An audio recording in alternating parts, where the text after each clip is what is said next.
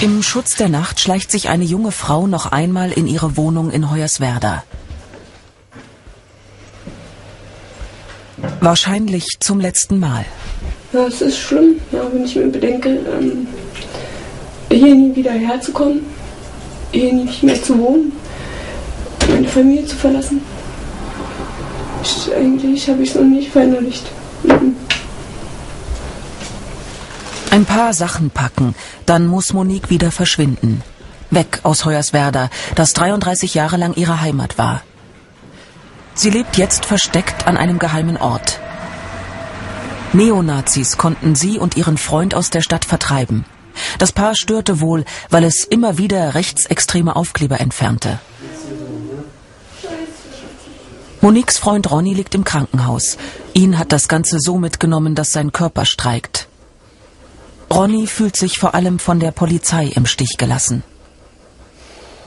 Dass es dann so weit kommt, dass man aus der Stadt geschafft wird, konnte ich mir so nie vorstellen. Nee, hätte ich nie gedacht. Ich dachte, man wird geschützt. Am 17. Oktober saß das Paar zu Hause vor dem Fernseher.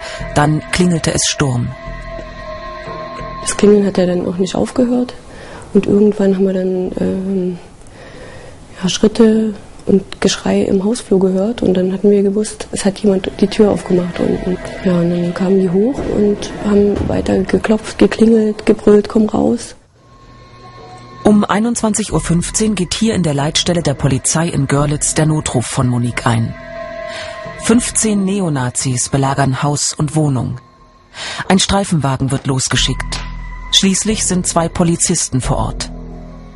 Und dann wurde es wieder massiver im Hausflur waren die Nazis wieder vor der Tür und haben weitergemacht, wieder geklingelt, wieder geklopft. Und ich dachte, die Polizei ist doch da, warum sind hier Leute im Haus und wollen weiter rein? Und die Angst, Panik wurde wieder mehr.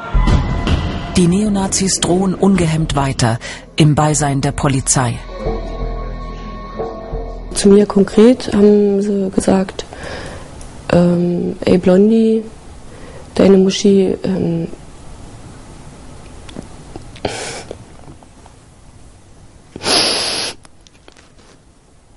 Es ist so schlimm, das nochmal Musste, musste, musste nicht. Der hat gesagt, deine Muschi gehört mir heute Nacht. Und wenn ich heute, dann morgen. Ich bin dafür bekannt. Ich bin extra für dich mitgekommen. Ja, der war extra für mich da. Nach und nach treffen fünf weitere Beamte ein. Auch sie greifen nicht durch. Erst nach zwei Stunden marschieren die Angreifer ab, unbehelligt. Sie triumphieren, grölen laut ANH, ANH, die Abkürzung für Autonome Nationalisten Hoyerswerda. Hier Bilder vom 21. September. Damals provozierte die Gruppe am Rand einer Demonstration, mit der an die ausländerfeindlichen Massenausschreitungen im Jahr 1991 erinnert wurde. In der Nacht nach dem Vorfall wacht ein Streifenwagen vor dem Haus. Am nächsten Tag heißt es, man könne Monique und Ronny nun nicht länger schützen. Die Polizei hat darauf gedrängt, dass wir weggebracht werden, dass hier Ruhe reinkommt. So waren die Worte. Und äh, die ganze Aufruhr, die an dem Abend entstanden ist, halt geschlichtet wird sozusagen. Ne? Und äh, die konnten mir den Schutz nicht gewährleisten. Meine Freundin konnte nie geschützt werden. Mit Hilfe von Freunden findet das Paar ein Versteck weit weg von Hoyerswerda. Ein hilfsbereiter Polizist fährt sie mit seinem Privatwagen dahin.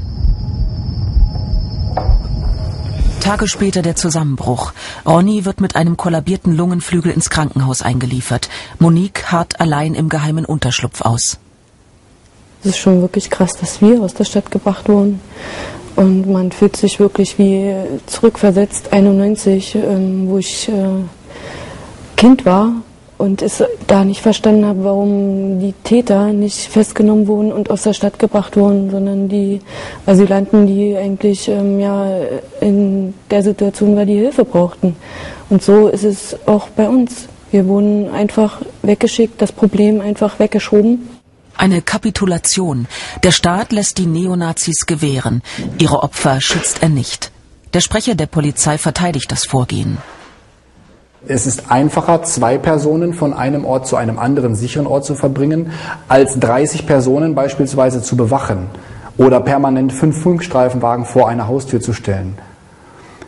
Es ist eine Frage, mit wie vielen Kräften kann die Polizei hier agieren? Welches ist die mildeste Maßnahme? Welches ist die geeignetste Maßnahme in diesem konkreten Moment? Und dem handelnden Paar ist dort empfohlen worden, nach Möglichkeit die Stadt zu verlassen. Inzwischen wird in Hoyerswerda gegen elf Beschuldigte ermittelt. Es wird schwer, ihnen etwas nachzuweisen. Die Polizei hatte ja am Tatort nicht einmal die Personalien aufgenommen.